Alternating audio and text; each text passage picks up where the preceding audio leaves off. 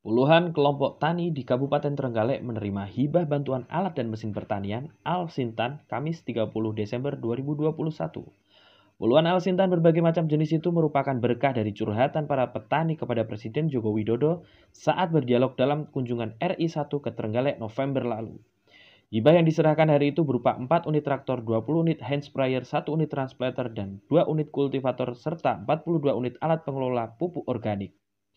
Selain itu, ada juga tambahan 15 unit kultivator dan 6 unit traktor dan 4 unit pompa air yang sebelumnya telah diserahkan ke kelompok tani. Bantuan diserahkan secara simbolis oleh Bupati Trenggalek Muhammad Nur Arifin kepada perwakilan kelompok tani.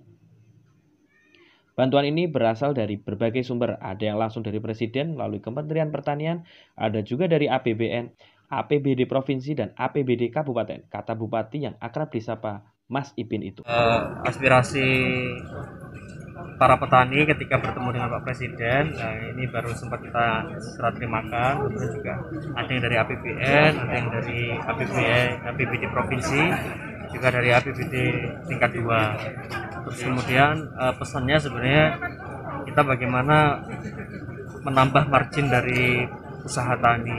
Melalui apa? Ya produksinya bagaimana kita tekan se semurah mungkin mereka biaya produksinya. Kemudian pasca panennya kita berusaha menjamin kalau selama ini penjaminnya harusnya bulog tapi dengan berbagai macam hal mungkin kita juga bisa mengupayakan langkah-langkah di tingkat kabupaten